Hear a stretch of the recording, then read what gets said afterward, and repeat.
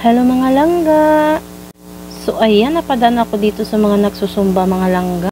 Ang sarap nilang tingnan mga langga. Oh, ang gagaling nilang kumembot-kembot.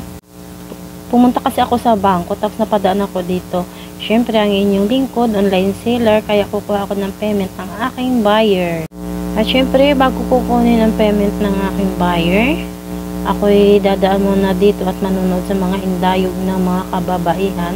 So nakita nyo lang, ang gagaling-galing nila magkikemot-kembot. Nakakatanggal ng stress habang pinapanood natin sila langga. Habang pinapanood ko sila mga langga, ang lakas ng dagundong ng tugtog. Parang nagtatambol ang aking dibdib mga langga. Para bagang pag tayo ay nanonood sa mga ganitong indayog, parang wala tayong nararamdaman na problema. Wala, good vibes lang tayo. Ayan, ang galing-galing ng mga DI, mga dance instructor. At syempre, pati yung mga tinuturuan ay ang galing-galing din mag-iindayog. Nakita mo, grabe ang vibrate ng kanilang katawan. Parang mapapainda ka habang napapanood mo sila mga langga.